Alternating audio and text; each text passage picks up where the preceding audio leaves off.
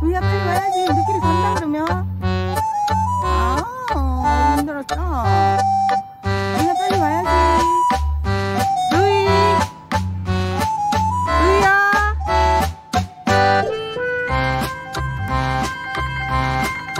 빨리 와야지 루이.